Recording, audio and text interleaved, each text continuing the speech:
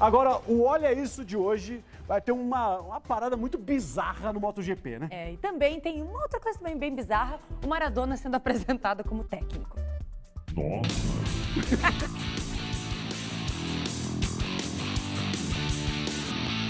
Maradona é o novo técnico de um clube da segunda divisão mexicana, o Dourados de Sinaloa.